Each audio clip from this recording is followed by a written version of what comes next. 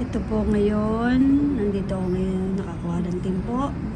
Eh, mga sasakyan dito sa EDSA, Pasay. Grabe ang ingay ng mga busina dito sa Pilipinas. Grabe ang ingay nila.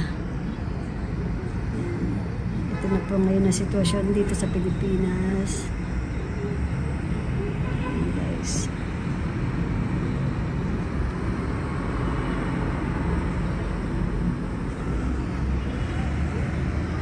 Ang MRT EDSA station.